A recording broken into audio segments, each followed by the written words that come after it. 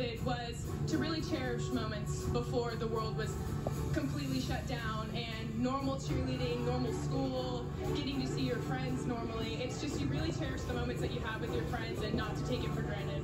I learned how to be strong and how to take things and um, be flexible. And I think our team definitely learned that too. A year missed for so many has only led to greater anticipation and ambition. Cheerleading worlds.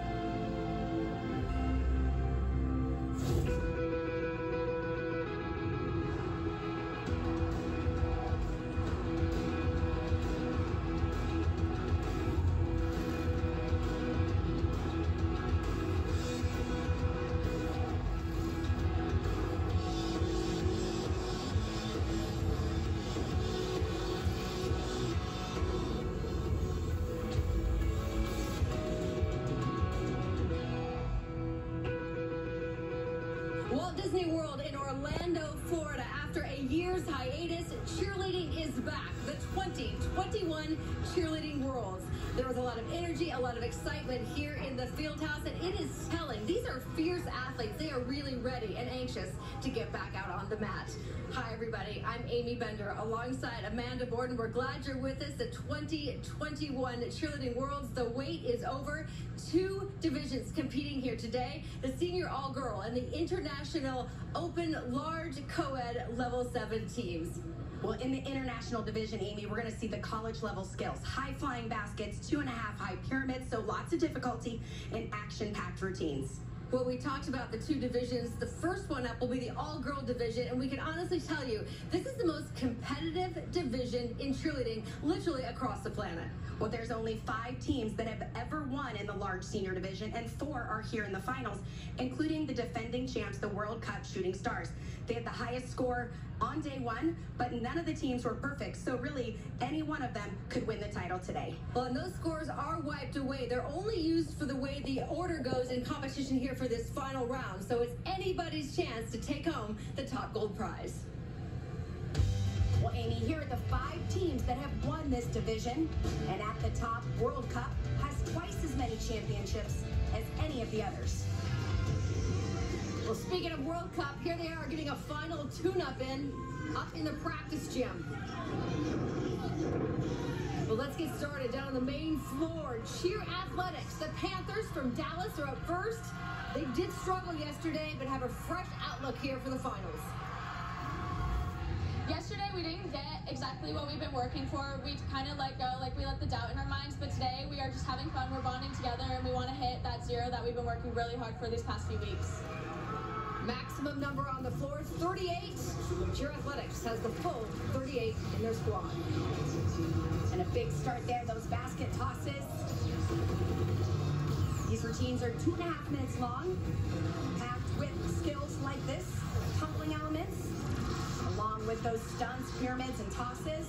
Of course, the dance and that overall impression throughout the routine, the judges looking for that performance value, unique transitions, and high energy.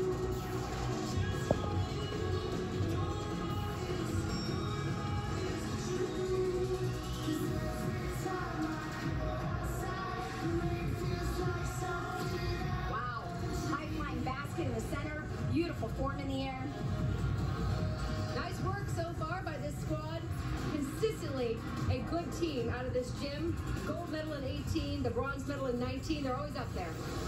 They've actually won this division three times. They also know how competitive it is. You gotta have the difficulty. Nice work here in the partner stunts. Spinning to the top, showing off that flexibility.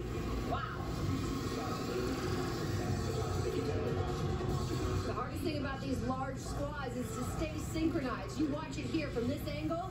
There's 38 at the exact same moment doing the exact same move. This is where timing is very important. The running, tumbling, you can see. Variety of combination passes. Nice double fulls.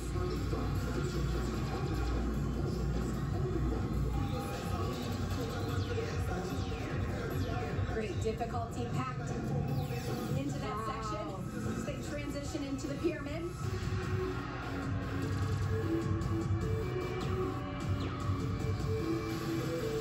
Flexibility there. It's elements like that that are so important how they get into these stunts, transitions, formations.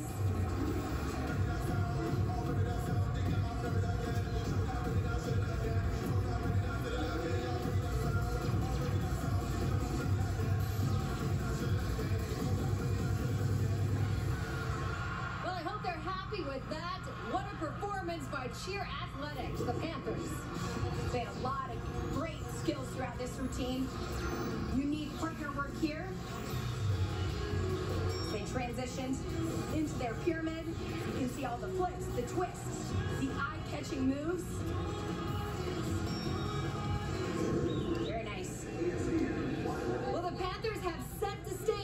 For the 2021 championship. Stay with us. The Cheerleading Worlds on CBS Sports Network is sponsored by the United States All-Star Federation, the national governing authority for safety standards for all-star cheer and dance.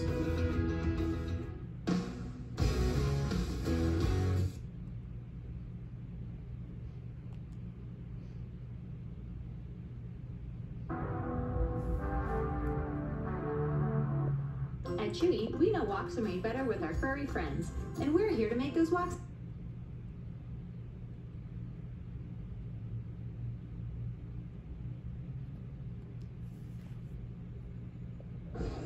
And we welcome you back.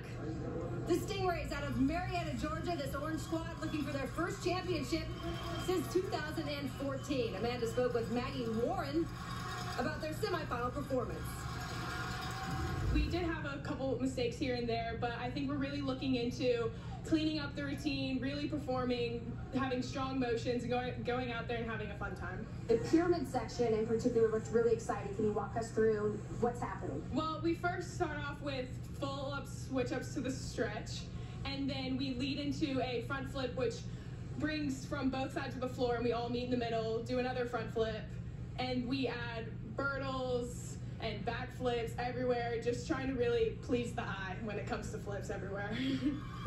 all right, Amanda, that's all you. You can explain it as it rolls out. This entire routine is packed with skills. Standing, tumbling to the front, very dynamic.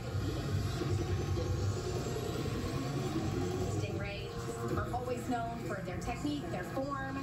You'll see that throughout. Nice high flying baskets, good synchronization.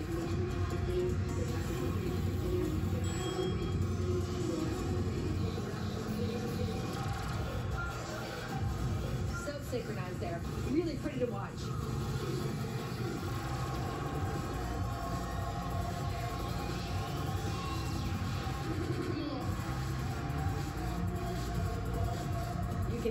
Detailed they are in group work using the entire mat there.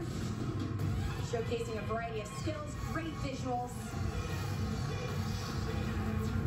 With this division being so competitive, the difficulties very important, but it's the execution and then those visual effects and standing out as a team. And they are doing a phenomenal job. Difficult partner stunts right here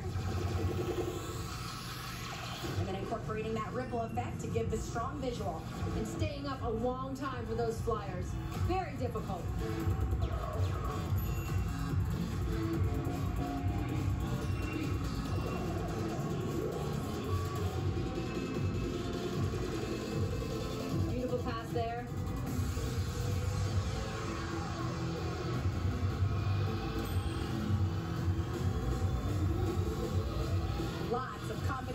Lots of double fulls. Nicely done. And here's the beginning of the pyramid. You can see working on the outsides, pulling it together.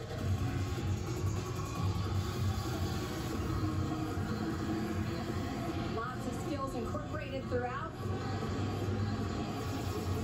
Maggie's a part of it, and she had trouble finding all the skills that were wrapped in this pyramid.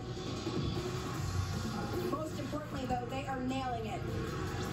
Well, this is a veteran squad. More than half of them returned because of the off year with COVID. They all wanted to come back and try to get it here again.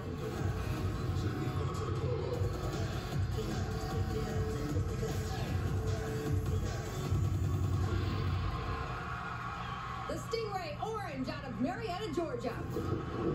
Well, they are well-rounded, that is for sure. But watch this stunt sequence. Spring in, spring up. Show a variety of positions. Drop it down, spin it around. And then to that inverted position while they're spreading out, testing the stability of the stunts, create that ripple effect. Fun to watch. Complete exhaustion after 2 minutes and 30 seconds of a routine. They put as much into it as they could. Congratulations to the Stingrays. Nice performance. Cheer Extreme heads to the mat now. Earlier, we had the chance to speak with them about their strategy for this final round. Things that we're proud of is just hitting, you know, and doing our best. And tomorrow, like today, we're just gonna go harder. And we made a couple changes for the judges to appeal to them, and then hopefully that's we do. We